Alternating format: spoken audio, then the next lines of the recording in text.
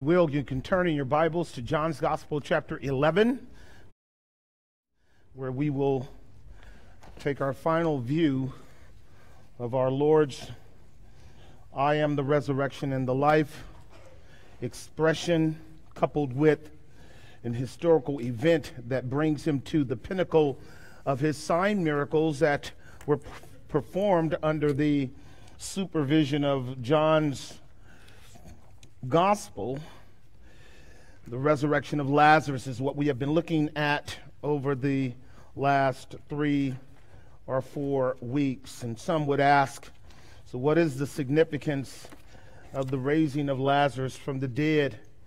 Many are the significance thereof.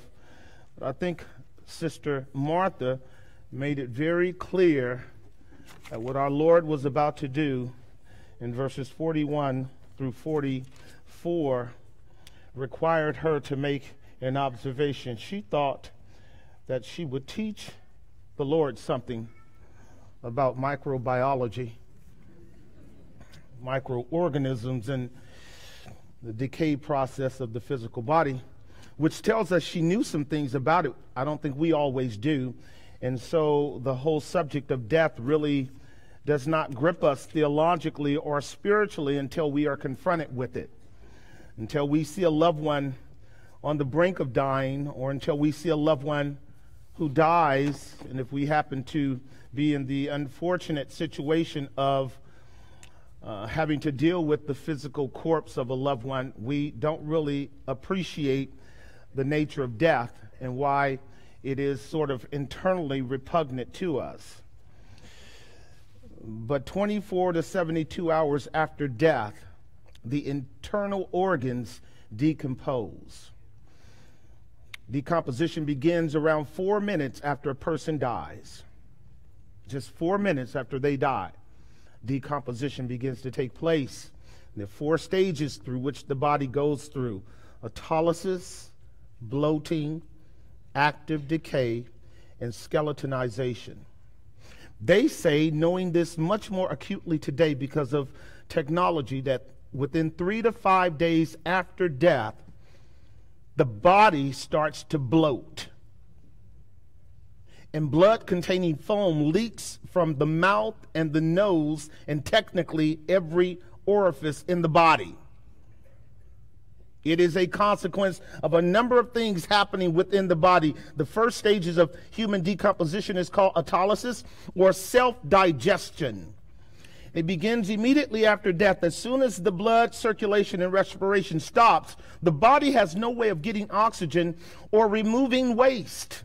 Excess carbon dioxide causes an acidic environment, causing membranes and cells to rupture. The membranes release enzymes that begin eating the cells from the inside out. Rigor mortis sets in, that is, the stiffening of the muscles, and small blisters filled with nutrient rich fluid begin appearing on the internal organs and the skin's surface. The body will appear to have a sheen due to the ruptured blisters, and the skin's top layer will begin to loosen. This is in the first two days. And then, because of this, these active acidic uh, elements working in the body and the leaking of the enzymes from the first stages, they begin to produce gases that sulfur and contain compounds that the bacteria releases, also causing the skin to discolor. Due to the gases, the human body can double in size in just three days. Insect activity begins to be present. The microorganisms and bacteria produces extremely unpleasant odors called putrefaction. That's the stuff that lets you know it's dying. It's dead. It's suffering a process of decay. These odors are often alerts to let people know that a person has died and can linger long after a body has been removed. The pathogens are also very toxic and deadly. The third stage is that the fluid released through the orifices indicate the beginning of active decay. Organs and muscles and skin become liquefied. When all of the body's soft tissue decomposes, hair and bone and cartilage and other byproducts of decay remain. The cadaver loses the most mass during these stages. This is just day one through three. The body is stinking. That's what our sister said, didn't she? By now, Lord, he stinks. Chapter 11, verse 41. Then they took away the stone from the place where the dead was laid, and Jesus lifted up his eyes and said, Father, I thank you that you have heard me. I want to call your attention to the fact that Jesus is standing in front of the tomb of Lazarus, and we have been working through this richly, redemptively, and theologically understanding its implications to you and I if you're a believer. And we have come to appreciate, I hope you have, the importance of the man that's standing there. Because the man that's standing in front of Lazarus' tomb is the mediator of the world.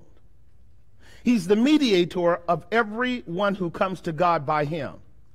The man that's standing in front of that tomb is there to teach you and I that he has conquered death and the grave and every ugly thing that death brings. He has stood in front of it like a conquering king to decree and declare that those who are in Christ have overcome death. But he stood before this tomb at a specific time in a specific way to teach us the nature of his mediation. If you recall, just back at verse 4, he got the news that his friend Lazarus was sick. That's just at verse 4. Now we're at verse 41. And at that time, you know what he did? He began the work of mediation, and that was to submit to his Father's will. There are seven stages of our Lord's journey from hearing the news that took place in Bethany from where he was, Beth Arba, about a day's journey, and him standing in front of the tomb. And I want you to understand this journey because this journey is the journey of Christ in the salvation of his people. The first word is submission. Christ did not immediately begin to be alarmed by the news that his friend Lazarus was sick. In other words, he is not the kind of Savior that is immediately responding to your or my felt needs. Our Lord didn't jump up and go, Oh my, my friend Lazarus is sick. What are we going to do? That was not our Lord's first response. His first response, according to verse 4, is, Now will my Father be glorified, and I will be glorified in him. What this teaches us is that our mediator has as his highest priority, first and foremost, the will of God. No matter how difficult our circumstance is, the thing that matters when you and I are in trouble is the will of God. And your mediator in mind, if he is one for you, has first and foremost the highest regard for God's purpose in your life because he knows what some of us already know is that all things, I don't care how ugly they are, work together for good to those that love God. So our mediator, first and foremost, submits to his father. Submission to his father is the evidence that he loves his father. Remember, he was stuck between two loves, wasn't he? How many of you guys are still with me? He was stuck between two loves love for his father and then love for his people. And this is why we call him the epitome of the commandments.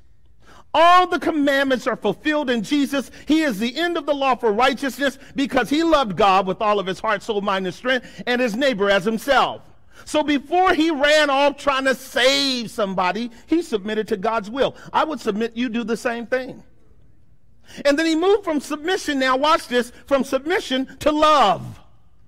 Because what did he do? Knowing that he had the ability and therefore the permission from his father to do something about it, he told his disciples, All right, let's go. Our friend Lazarus is sick, and I'm going to wake him out of sleep.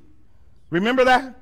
And what we have learned about love is that love is not just a mere sentimentality that does not have a motive, drive, and action behind it. If you love somebody, you're going to do something about it if you can even if it's nothing more than calling on God in their behalf. Don't tell me you love me and don't do anything.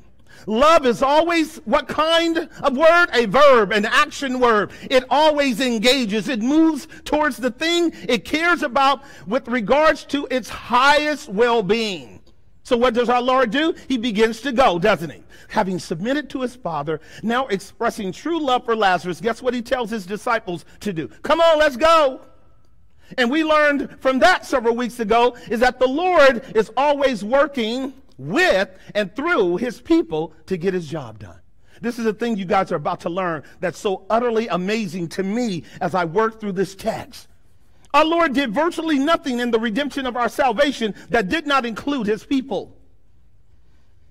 Our Lord did virtually nothing in the redemption of our salvation that did not include his people. Our Lord did virtually nothing in the redemption of your salvation and mine that did not include somebody else like you. Our Lord did not do anything within the framework of his incarnation without also employing those who were believers like the person that God wants to do something for in order for it to get done. Can you draw out the syllogism? Can you draw the conclusion? God works through us. So the disciples, because they were truly disciples and not just religious folk who go to church, when Jesus got up and started walking, they got up and started walking. Remember what Thomas said? All right, let's go. So that we can die with Jesus. Because to obey Christ is to die with Christ. To follow Christ and serve others is to die for Christ. To be a true believer is to take up your cross and deny yourself so that it's not always about you first, but others. And so the disciples are walking with Jesus, full well knowing that they're about to go into a storm that's going to end up having Jesus captured. And you know what they said in the depths of their heart? Let's go. Remember what I taught you? Those are affirmations of marriage vows. When a woman says yes to a man, she says, I will go where you go. I will live where you live. Your people will be my people.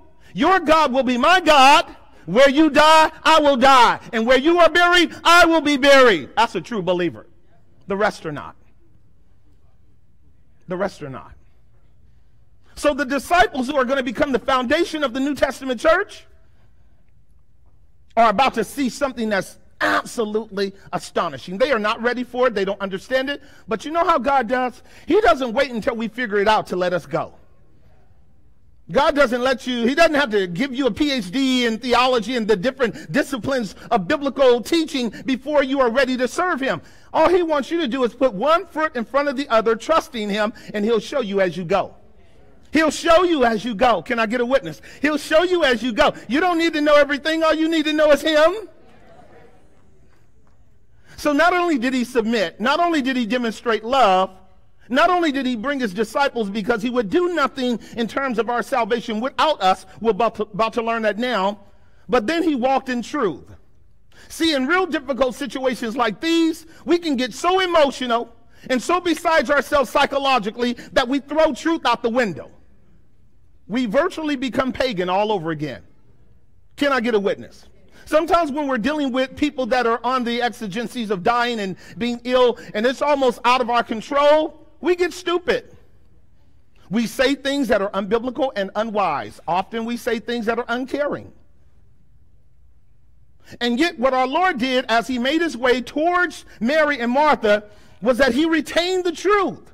First, he said, as soon as Martha came to him, Master, if you had been here, he had not what? Now, he didn't capitulate to that. The first thing he said was, Martha, your brother will rise again. True. The most moronic, the most illogical, the most absurd proposition in the gospel is that we will rise again from the dead. Nobody believes this today. Even the Christian does not walk in the power and the virtue of the resurrection when it comes to their life. We are doing everything to love this life, enjoy this life, wallow in this life, have this life, gratify this life because we don't believe in the resurrection of the dead. If we did, we'd be out preaching the gospel, suffering for Christ's sake, waiting to die so that we can rise again. Just giving you the application as we go, just in case you don't come back.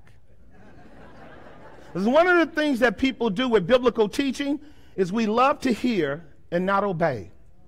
We love to hear and not obey God's word. And we waste our time when we do that. I admire the disciples, don't you? They're walking with Jesus. They're going with them. They are, I, I can sense, if I were there, I'd be just like them. I'd be real quiet, wouldn't you? I mean, I'd be real, because they're way out of their pay grade, aren't they? They, they haven't taken this class yet. How to raise people from the dead after four days. Because they were with Jesus when he raised others from the dead, that was pretty easy. They had to deal with a few hooping and hollering and, and crying and whining women like we do. But our Lord kicked them all out the house and went to the young girl and said, Girl, get on up. Go get something to eat. It's all right. I'm here now. And Peter picked up on that because he did the same thing in the book of Acts, right? With Dorcas. He learned how to do it as he went. And then our Lord was doing something else in the Gospel of Luke. Just going about his business, saw a, a widow with her son going to the grave. He stopped the casket, the bier. He said, Boy, get up. Boy got right on up. The disciples said, Whoa. Oh, master is sharp. But you see, all that's clean. None of that has all of the dirty stuff of four days and self-digestion and, and stinking and the, and the collapsing of the body and the, all of the morbidness of death like we're dealing with now. That stuff just, un, you know, if we can live and die without ever seeing or smelling that, we'd be blessed, wouldn't we? Wouldn't we? And yet the disciples have to go through where we are now. So our Lord, as he began to move upon his mission, submitted, demonstrated love, walked in truth, didn't he? You know what he did next?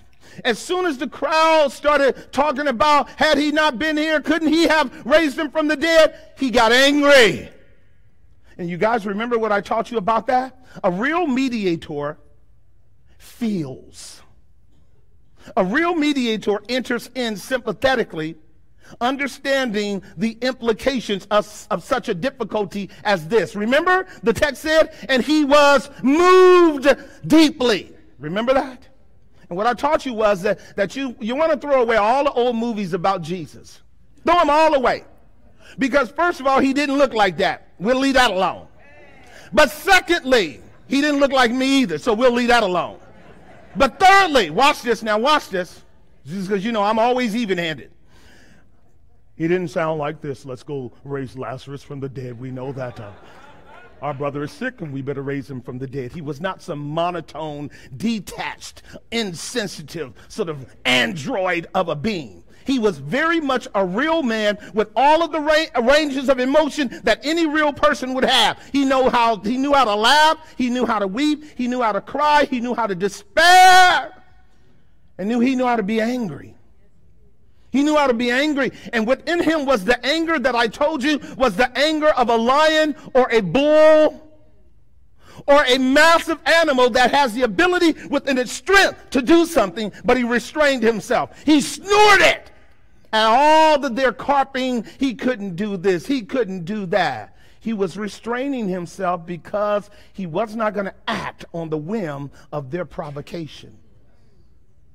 Is that good or what? Because he was about his father's business.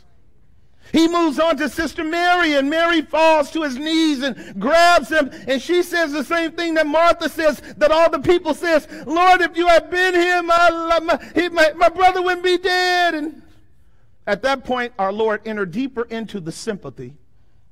And according to John chapter 11, verse 35, what did he do? Jesus wept. And I shared with you the expression of that term weeping. It wasn't the kind of weeping that a person does not notice, but rather the kind of weeping that everyone notices. He wept noticeably. He wept noticeably. Now be careful about your weeping because yours is manipulative. Sometimes you weep to get attention for yourself. Be careful of your weep. I'm just telling you, we, we do that. We it, it, it never fails me when somebody gets into the middle of a service and it's always about them. Isn't that crazy? How jacked up are we? We're coming to memorialize somebody that the Lord has taken home and then they make it all about them. Aren't we desperately sinful? Aren't we desperately sinful? We'll stand on top of the grave of a person we love and steal glory. That's how desperately sinful we are. When our Lord wept, he did not weep to get attention. He wept to confirm the deep pathos that was going on in the, in the lives of those who really loved Lazarus.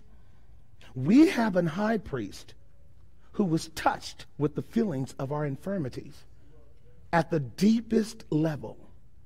In fact, Christ's weeping is a weeping that actually stood in your place because our hearts are too hard to weep like he weeps. We don't go to places like he went because we're not prepared to. We're still too hardened a sinner. This is why our joy is not in how we feel or what we do, but what he did. What a savior to weep for us. What a savior to be sympathetic and empathetic for us. I think it was Jeremiah who said it. Have anyone been smitten with the sorrows and the pains that I have been smitten with, saith the Lord? Has anyone suffered like Jesus? The scripture says, men of sorrows, acquainted with griefs, smitten, afflicted, and stricken of God. Was he not? For those of us who look upon him for what he really is. And when I see him, I see myself. Do you? When I look upon Christ, I see who I should have been in my sinful wretchedness, and I see who I am in him because he stood to take my place. You're going to learn something about that here in a moment. Not only did our Lord enter into the sympathy of their suffering in an authentic way, he drew them all in. Watch this now. He, he drew them all in. They all got to come. When Mary was finished hugging his legs, they all followed him and her to the tomb. Everybody came. He wanted them all there. And when he gets to the tomb, this is when Sister Martha thought she would use her little biology degree to help Jesus understand what kind of trouble he going to get into because the only imperative that he gave them was to remove the stone. They had the privilege of following the master from the time that he learned about his friend Lazarus being sick to the time that he's standing now. He's there. He's at center stage. He's there. We're there now, are we not? We're at center stage. Is all this is going to make some sense, or somebody's going to be utterly embarrassed. Is that not right? Which is going to lead to anger on the part of the mob and the crowd. And you know how fickle people are. They'll love you one day, kill you the next. Mary loved Jesus. Martha loved Jesus. And so Martha is saying to the Lord, Now, Lord, this brother stinks. By the way, I'm just going to teach you something here just in case you got it last week and wasn't sure. The tomb represents the bondage of sin. The grave represents our captivity by a fallen nature. The wages of sin is what? And when a man or woman does not know God, they are in bondage to sin. We are slaves of sin.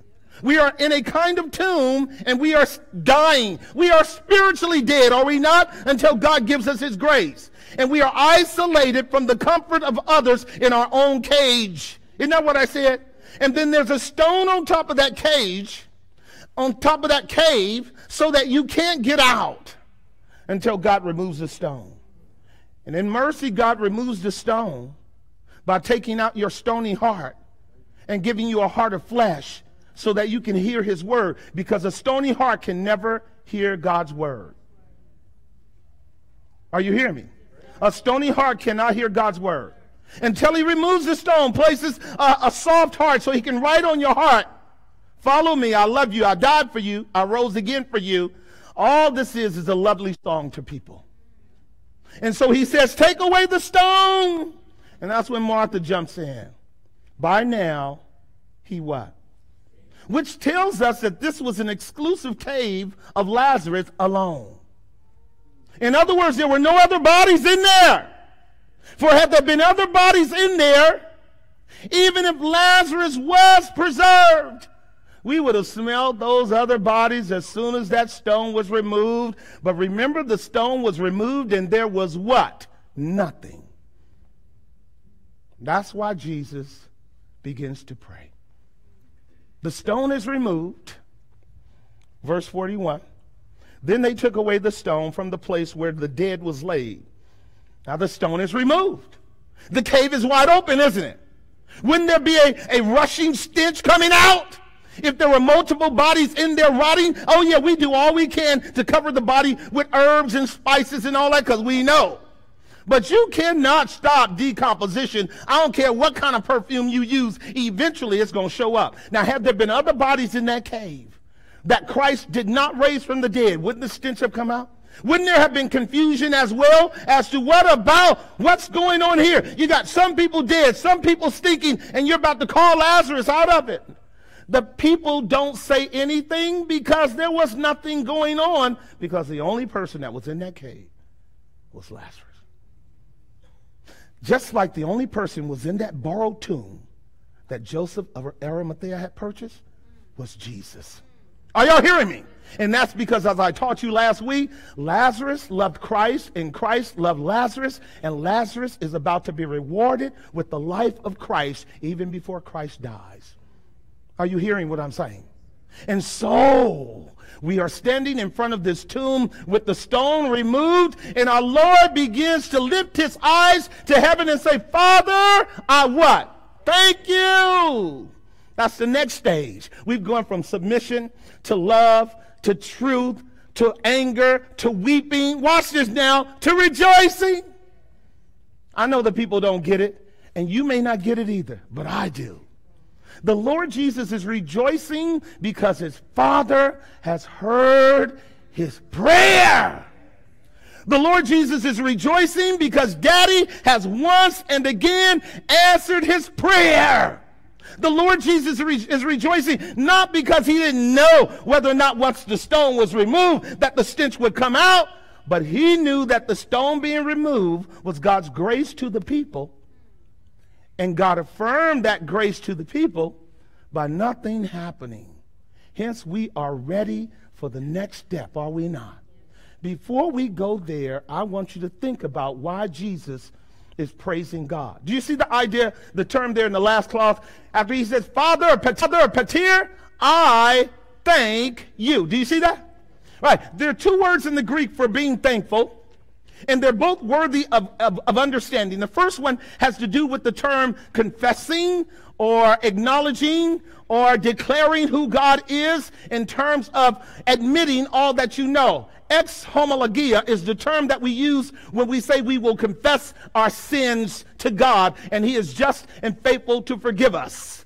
Homologos means to agree with God. It's the term that was used in the days of John the Baptist when they were coming to the River Jordan to be baptized, confessing, confessing, confessing their sins. And Jesus frequently raised his hands in confession of his Father. The word is used in Matthew chapter 11, verse 25, when Jesus says, Father, I thank you that you have hid these things from the wise and prudent, and you've made them known to babes.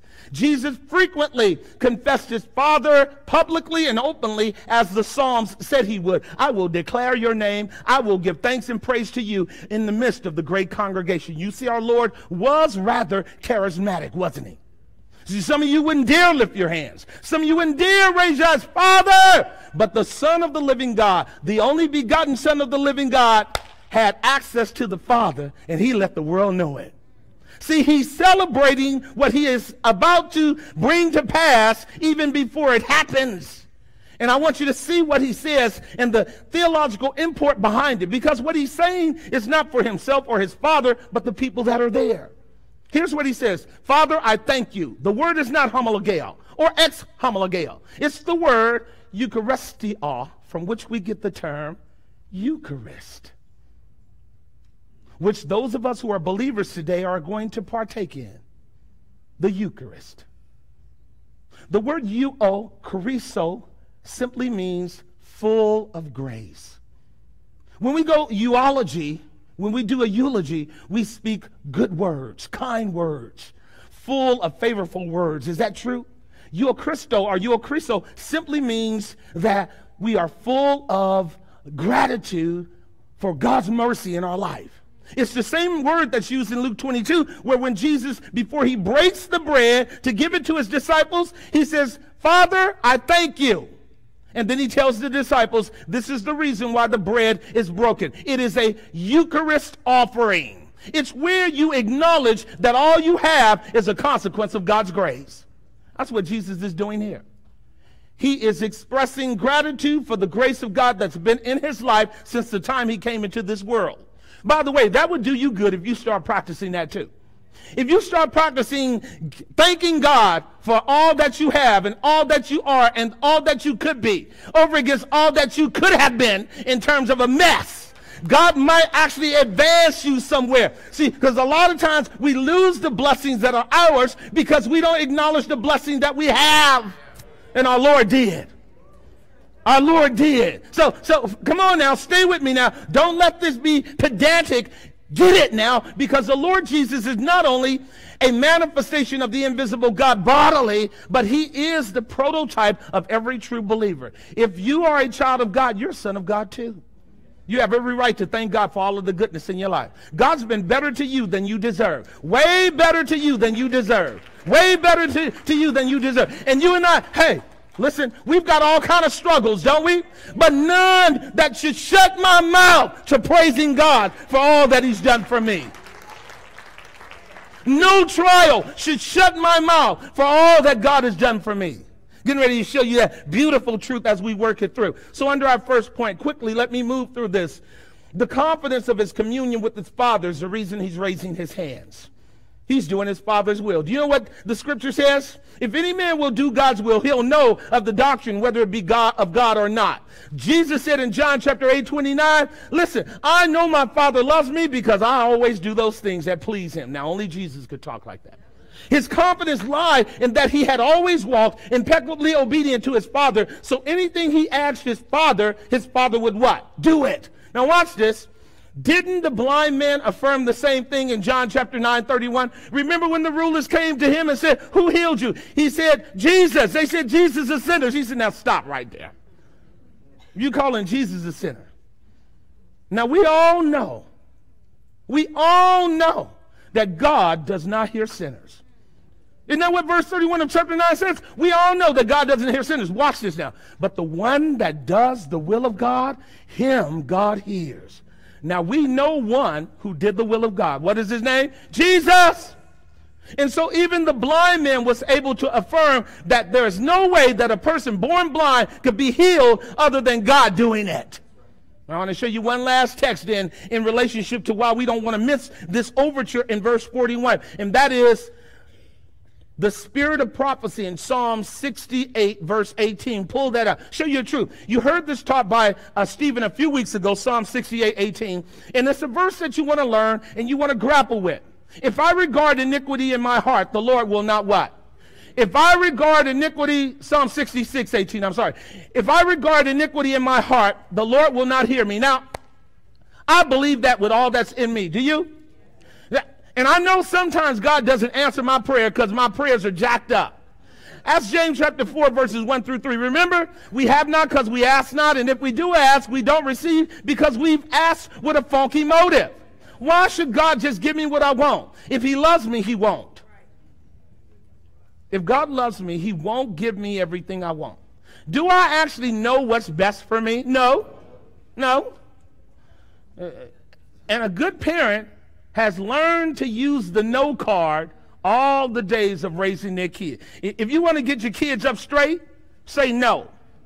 If you want your kids to be lopsided, say yes to everything. They'll go astray as soon as they can. No's are designed to head you in, to help you discern your own inclinations for things that are not good for you. And here's the thing that kids will know. They'll know when you go to saying yes to them, it's time. Is that true? They'll know that when you go to saying yes to them, they know that you've got it. That they'll know that you know that they've got it, that they can trust you with that thing that they're asking for now. Piece of advice for, for children today. Get to a place where your parents say yes because they know they can trust you. Could our father trust his son?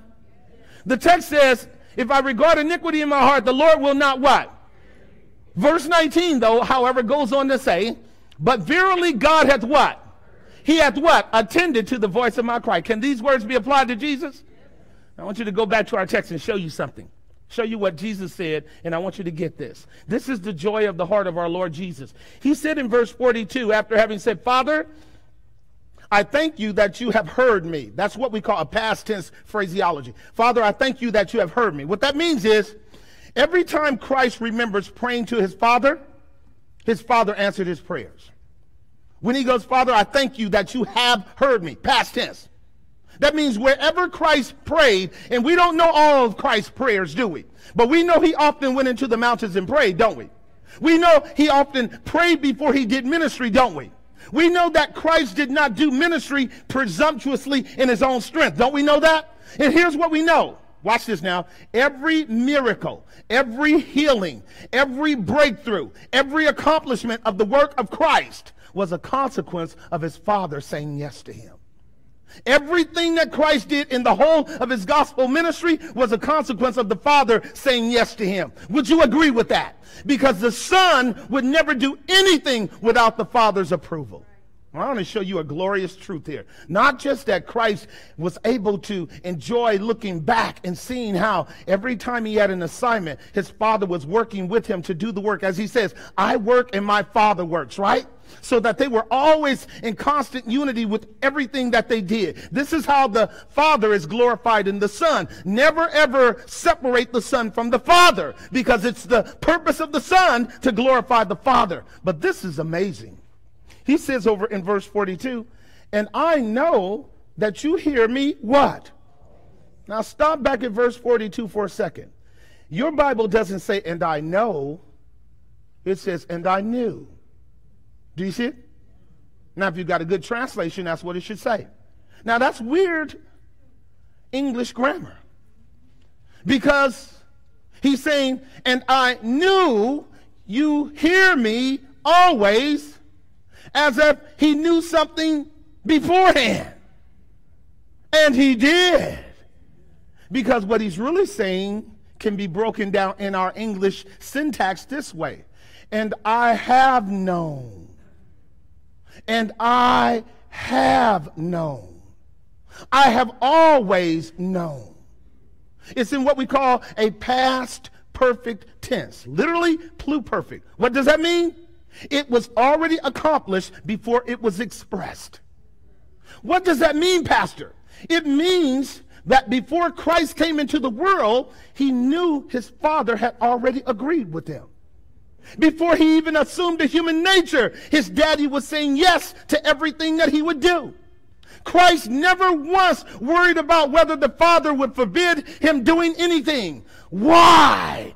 Because before the foundation of the world, the Son said yes to his Father to be the mediator and vouchsafe of his people who would in this world fall into sin and ruin so that from the foundation of the world, Jesus Christ was the Lamb of God slain.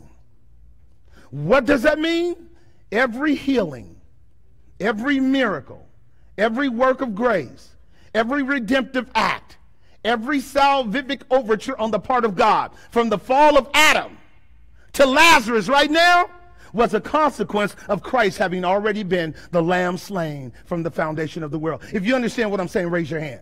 Every healing, every miracle, every sign, every wonder, every recovery of lost sinners. Isn't that amazing? Adam and Eve raised their fist against God, sin like I don't know what, with the greatest of clarity, clarity that you and I don't have. And they ran from God. And God should have justly let them go to hell. But because Christ was the lamb slain from the foundation of the world, God counterintuitively hunted them down, corrected them, clothed him in his righteousness, having already shedded the blood of a lamb as their substitute. And this has happened throughout redemptive history from the beginning of time up to this very day. You and I are always operating on the grace of God given to Christ before the world began. Hallelujah, hallelujah. Hallelujah. Do you see it? Hallelujah. Watch this. So don't even separate miracles or wonders or signs from the atonement.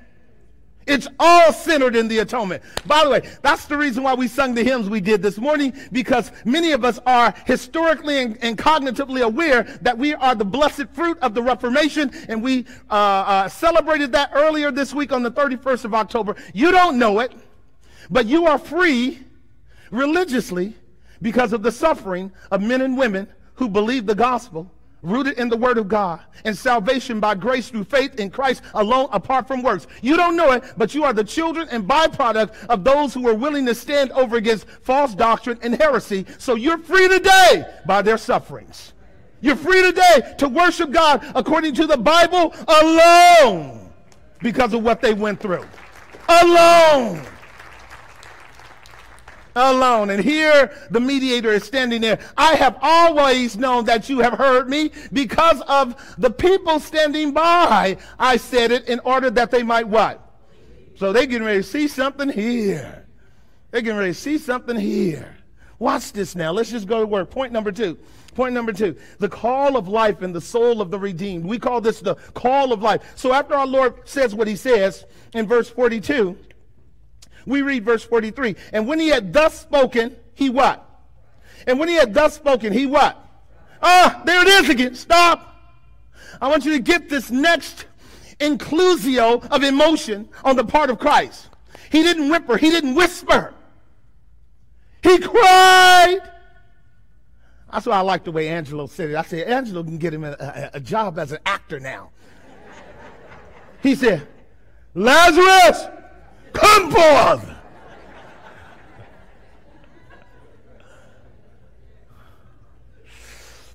Because we are called to exegetical exposition, and therefore, we labor in the scriptures with the kind of diligence that calls for us to analyze text very carefully. We, by the grace of God, can get behind the English language and see the larger implication of words, as I often do with you, to bring them out. Otherwise, when you read your Bible, your Bible is kind of just a bland thing you read without expository help. And you will quickly miss that Jesus cried.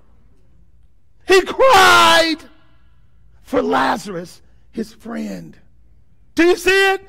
He cried. Now, what this would say to me is that this is a continuation of the weeping that started back at verse 35. That as my mediator, he's weeping while he's working. He's weeping while he's working.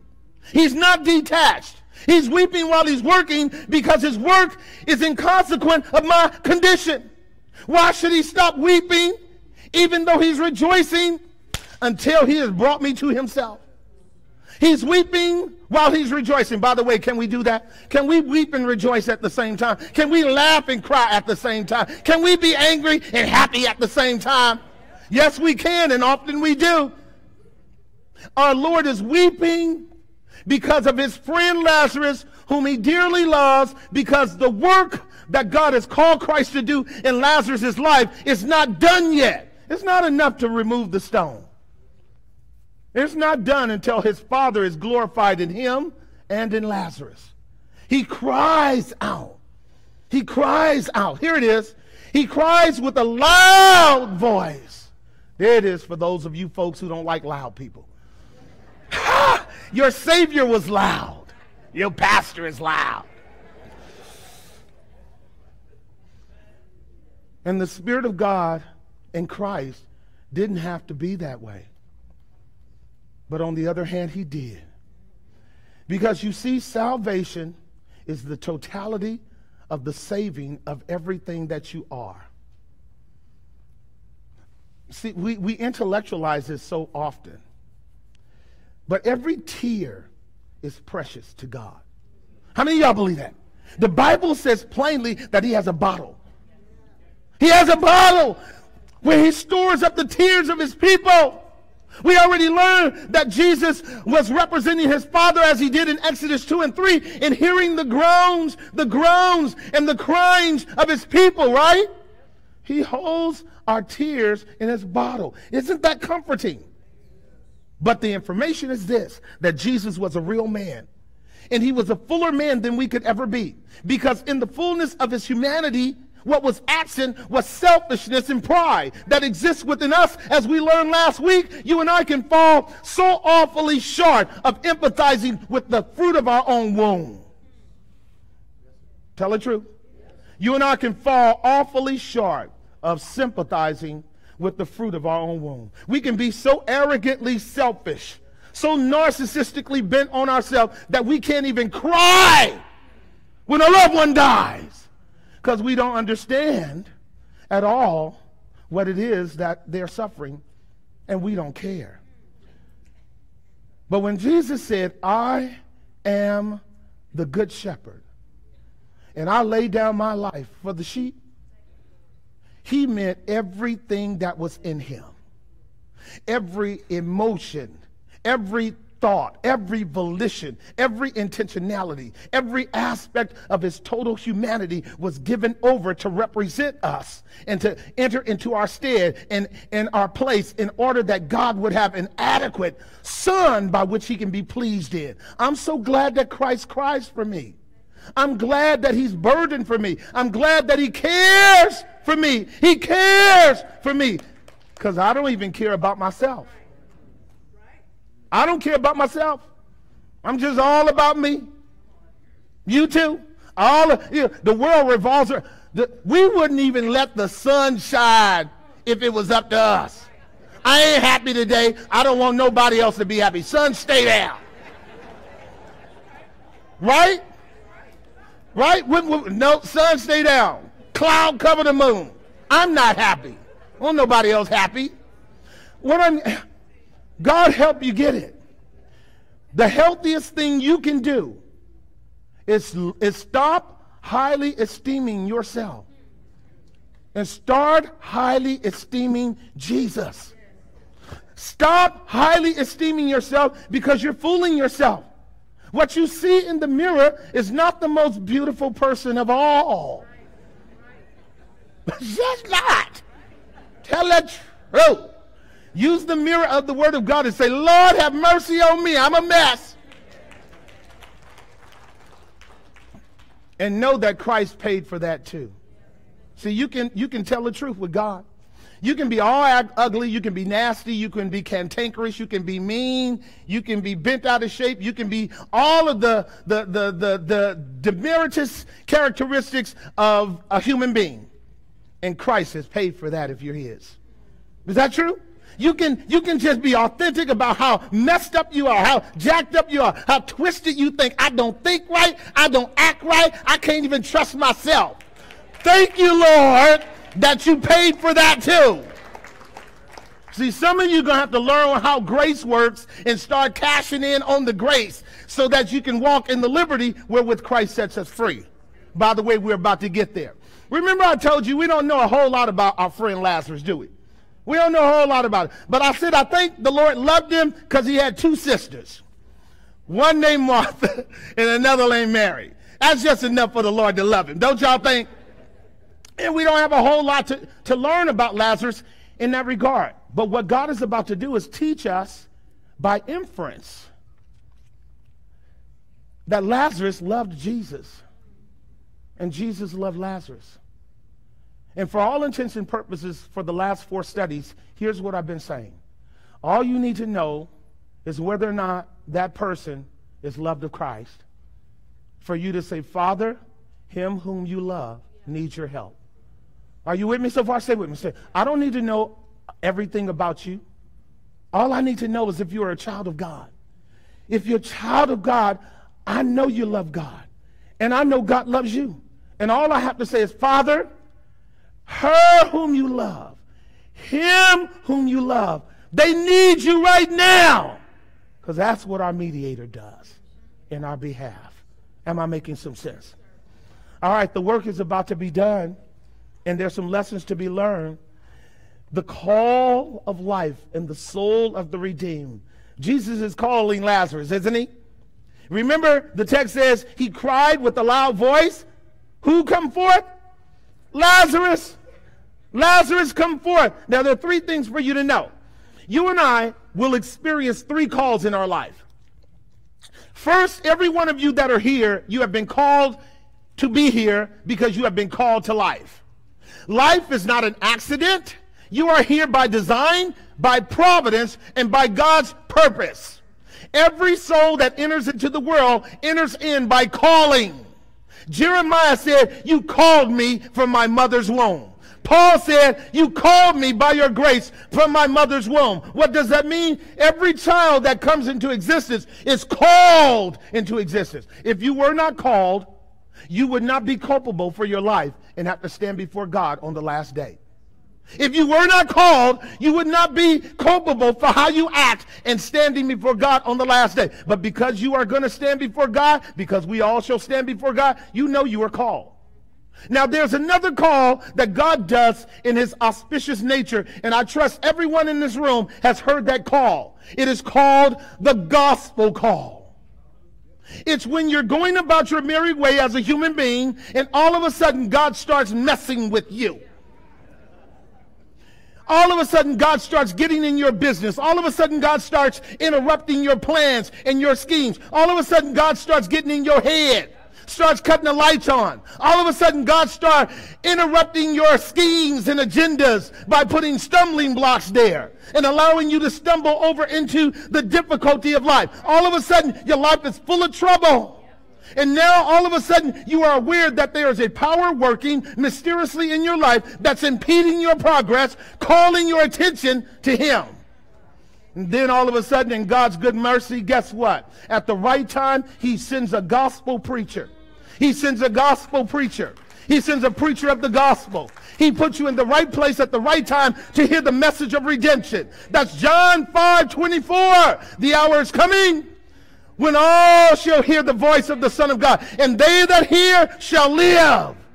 And there was a day when the Spirit of God, working through the preaching of the gospel, got a hold of your heart and started dealing with you in terms of your soul. Am I telling the truth?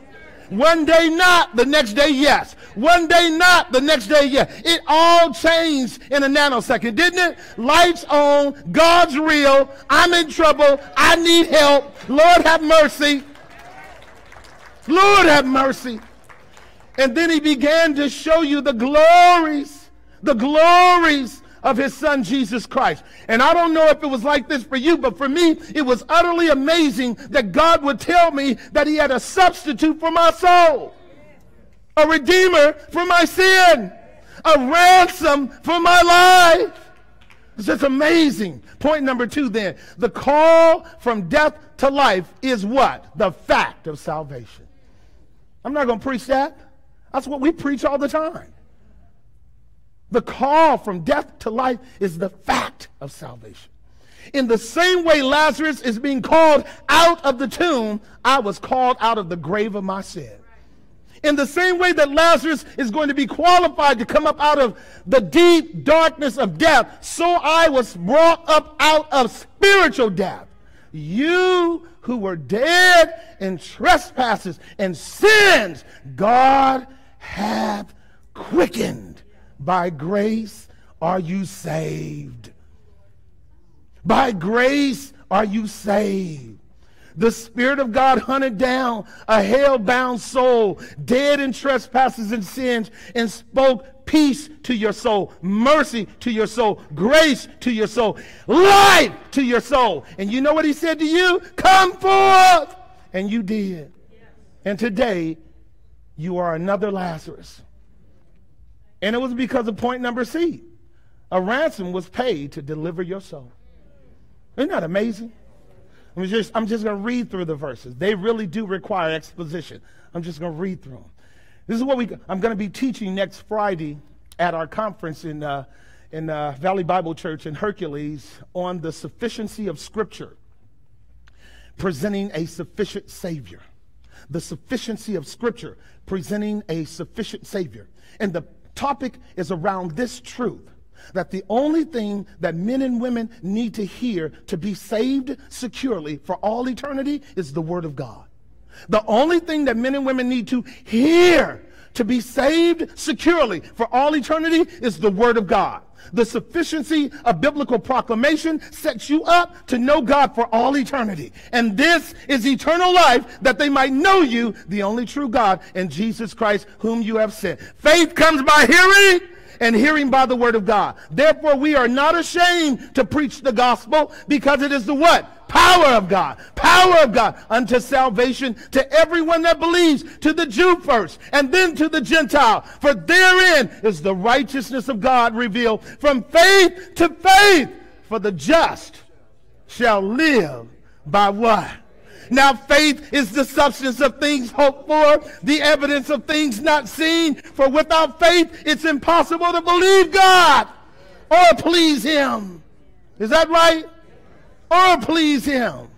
And this is the beauty of this glorious, glorious doctrine of faith resident in the soul of people who y'all know something about what I'm talking about? Do y'all know something what I'm raise your hand if you know something uh, about we're gonna burn some more calories. I know what it's like to know God in the power of his mercy and grace. I know what it's like to believe God when I didn't believe him before. My soul says yes to Jesus.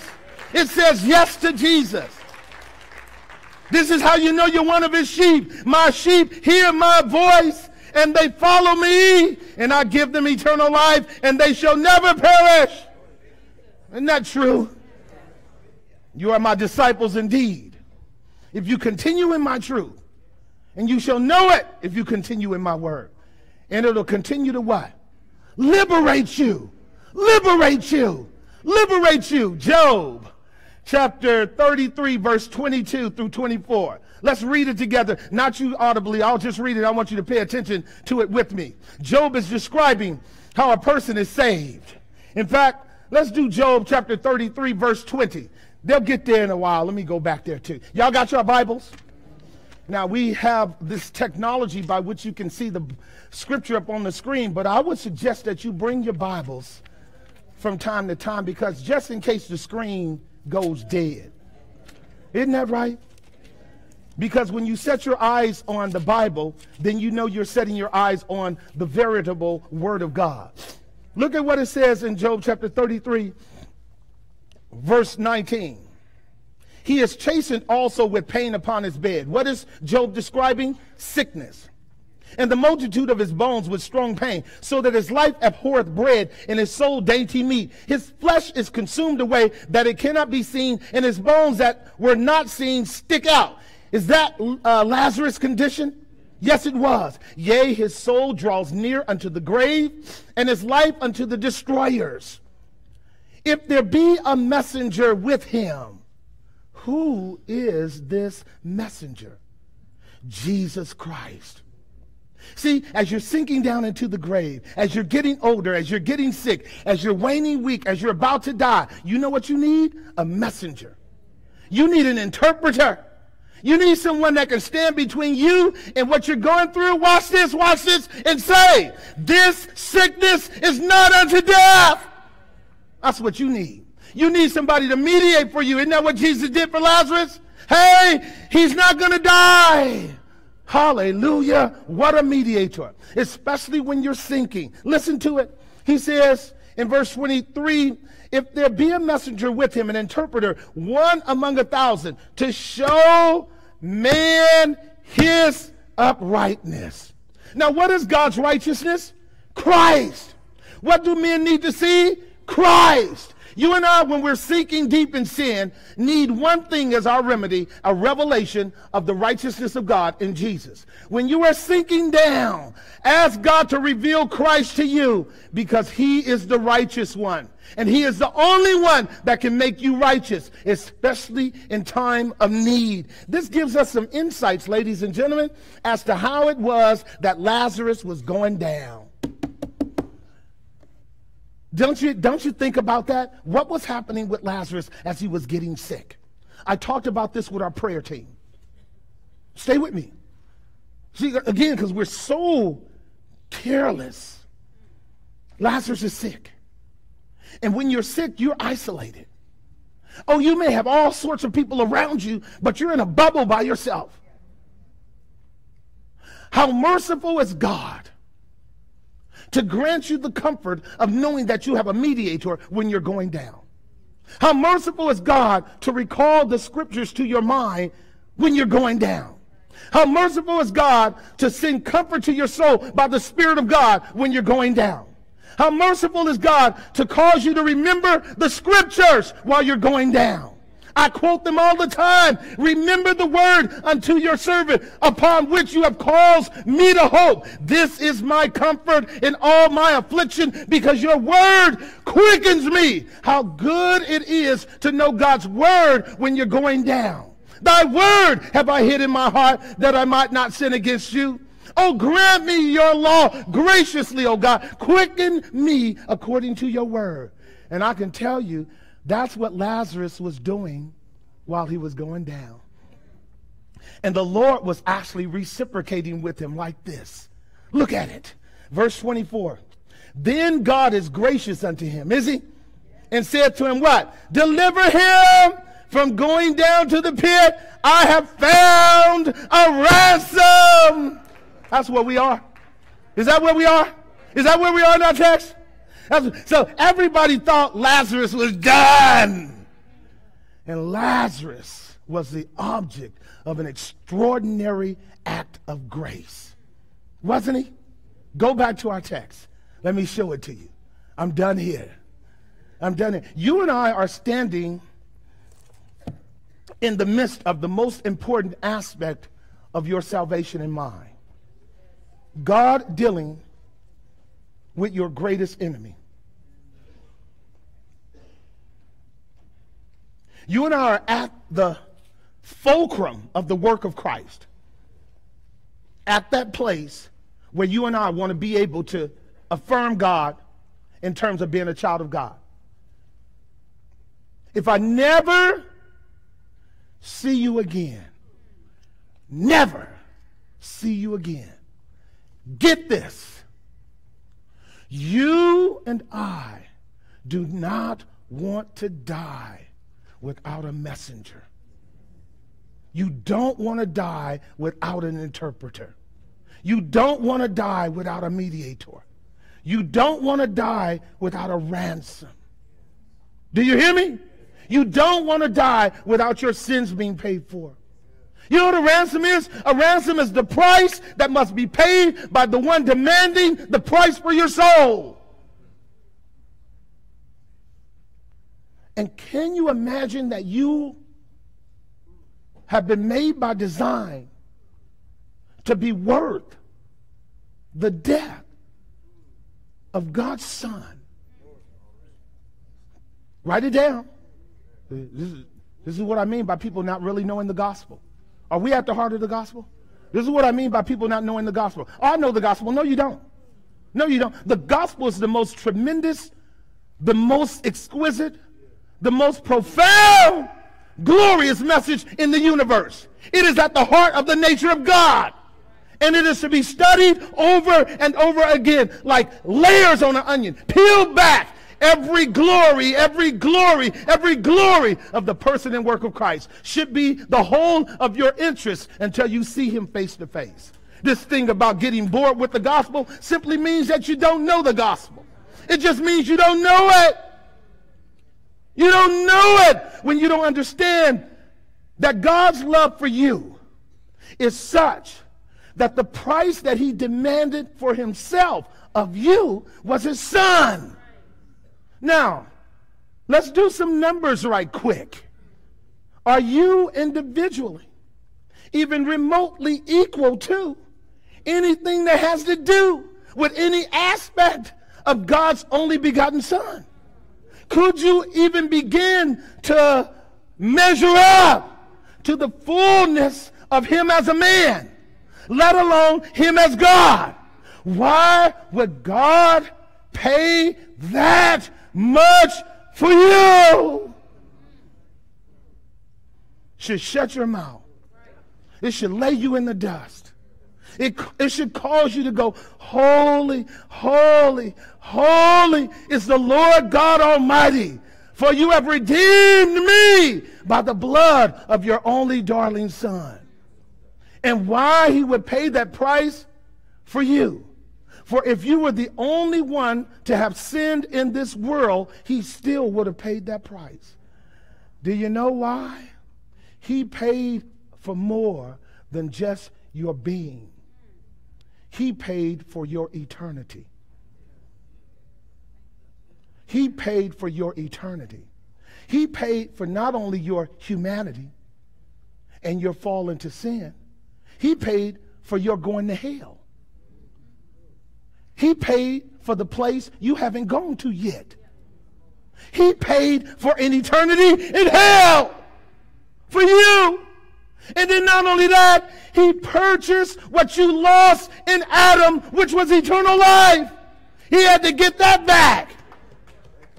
God bought the whole thing for you. What wondrous love is this, oh my soul? What wondrous love is this, oh my soul? That Christ would die for a wretch like me. Do you see it? Is this glorious? Does it shut your mouth? Does it cause you to wonder? Does it humble you with joy? All of us in this room together are not even a smidget close to measuring up to Christ. And yet he would die for every single one of us. This is why it's anathema not to love him. This is why it's anathema not to love him. This is why the whole of salvation is about love, as we learned last night. This is why God is love. Did you guys get this? This is why God is love. This is why you don't play down salvation. You don't play down redemption. You don't play down the cross. You don't play down God's glory in Christ for your soul. You beg Him to give you the spirit of glory so that you can worship Him rightly for all that He has done for you. You beg Him for it. That's why David wrote so many psalms. See, David was a man after God's own heart, wasn't he? That's why that brother could sing about God. He knew how bad he was, but how good God was. He knew how wretched he was, but how glorious God was. How glorious, glorious, glorious God was. Listen to it now. Verse 44. And he that was dead, what? Came forth. He that was dead came forth. Now that's oxymoronic. So how do you come forth if you're dead? unless God gives you life. And when God gives you life, don't you admit that God gave it to you, that you didn't help him? That you didn't agree with God? You didn't make a decision for Jesus. He made a decision for you and came and got your soul and brought you out. And you know now that every step that you are making is by the power of God's grace. Every step that you're making, you say, Unto God be all the glory for every step. Because once I was dead, now I'm alive. Once I was blind, now I can see. God has shown me mercy and brought me back from the dead. See, only a few people know what I'm talking about. For the rest of us, this is a mystery. And yet, the burden of my heart is not so much the doctrine of soteriology relative to your salvation, but I am afraid that our hearts are so hard that you'll wait till you get to where Lazarus was. And you'll hear no one say, Take away the stone. Our final point then the privilege of co laboring with Christ. This humbles me, and it's worthy of its own message. But I'm going to let it, I'm going to uh, uh, uh, unfold it in all of its fundamentals here without developing it because of our time's sake, because we want to partake of the table. The privilege of co laboring with Christ. Lazarus would have never been able to come forth had the people not done what Christ said. Is that true? Verse 41, part 8. Then take away the stone. They took the stone away. Christ declares, Lazarus come forth, verse 44, and he that was dead did what? Came forth, bound hand and foot with grave clothes, which means he was really dead which means he was really prepared, which means there were people who had buried him, cared about him, loved him, and put him in the grave, right? Which means they had all closed on Lazarus. They had all closed on Lazarus. Remember, they were in closure mode. Lazarus was the object of people who did not believe in the resurrection. They just shut Lazarus down. And here comes Lazarus.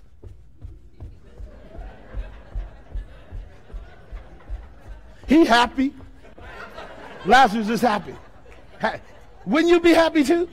First of all, you lay it flat down, and then the Spirit of God lifts you up on your feet, and you hear Christ say, Come, I'm coming. I don't care how. I'm coming bow. I'm coming. Right. Because when life is implanted in the soul anew, you're not ashamed of the gospel. Yeah, I got issues, but I'm alive. I'm bound, but I'm alive. I'm tied down, but I'm alive. I got grave clothes, but I'm alive. I am alive. I'm God's raggedy living creature. That's right. That's right. Why are you hopping? Because I'm saved. I'm hopping because I'm saved.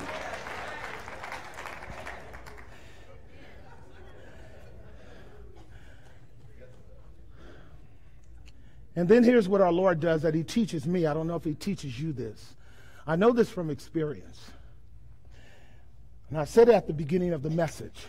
He doesn't do anything with which He glorifies His Father except through His people.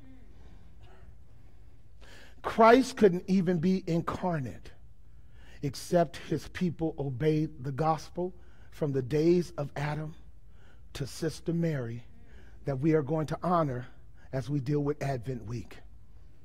If there weren't believers from the days of Adam up to Mary, Jesus would have never had a human nature. God asked Joseph and Mary to cooperate with him in the process of the incarnation. Are y'all with me? That's how God always works. He never ever just glorifies himself apart from you except on special occasions. Do you recall the first miracle that Jesus did? Turning the water to wine. And do you remember what he said? Fill the pots. He had his boys fill the pots with water. Do you remember the other magnanimous miracle that he did? The people are hungry on the hillsides and there's only a small little loaf of bread and fish that a young boy has. And remember what he tells his disciples? Sit them all down, put them in groups. And he blessed the bread and he gave it to who? The disciples, which is the same as giving us the gospel to give to the world. And what does God do with that bread? He multiplies it. He multiplies it. He multiplies it. And then we give it back to him. And it's more afterwards than it was when we gave it to him because we cannot exhaust God's grace. But the point is, God works through his people. So you can sit here all you want to. You can sit here all you want to and celebrate what God does and actually be a person who does nothing for the kingdom of God. Do you hear me? Oh, there's so much to say. Just look at the three subpoints. He was called to life by Christ again. He was committed to the care of the body of Christ, right? Is that true? And then finally it says, it is a call to what? Life and what? Yes, it is. You do the gospel right. And, and men and women come to know God in the truth. And out of a real love and gratefulness for God's mercy in their life, they live for God. And the ministry of the local church is to help liberate you from error and falsehood and ignorance. The goal of the church is to teach you the Word of God so that you can walk in the liberty wherewith Christ has made you free. That's the goal of the local church. And every believer has the responsibility and privilege, I dare say, to be able to help some damaged soul come to know the power of God's grace in your own private assignment. You may be called by God to just take the stone away. That's all you're doing. You're going to take the stone away by telling that man or that woman they need God. And then God will send somebody else along to help strip them of the grave clothes when he saves them by his grace. Because you see, it's not about you, but God works through you. Am I making some sense? It's not about you, but God works through you.